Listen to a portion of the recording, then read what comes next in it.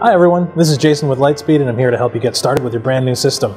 Lightspeed can keep track of all of your customers for you and today we're going to show you how it does that by adding a couple of customers to your account.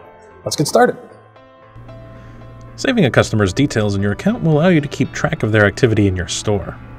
To add a customer to your database, simply click on Customers, followed by Customers, followed by New Customer in the top right.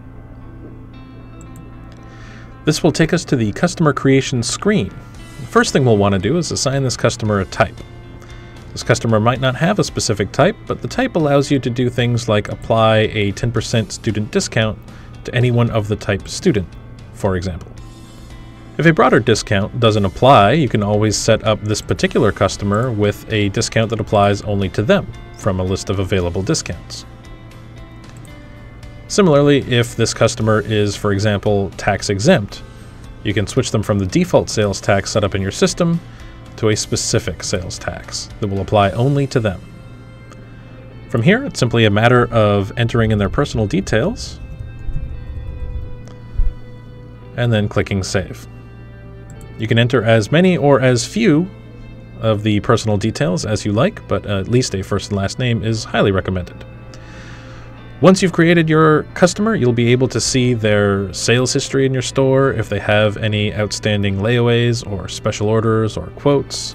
You can track payments they've made to you in the past and track their credit account. You can get more specific information on all of these things on our Help Center. You can also click on Checkout, which will bring you straight to the sales screen with this customer already attached.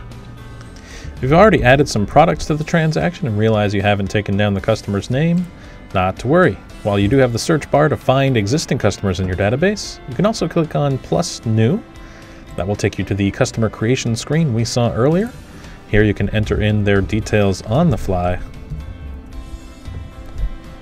save changes, and attach them to the sale. And from there, you simply complete the transaction as normal. As I said, there's lots more helpful videos and tutorials on our Help Center, so don't be afraid to check those out. And thanks very much for watching.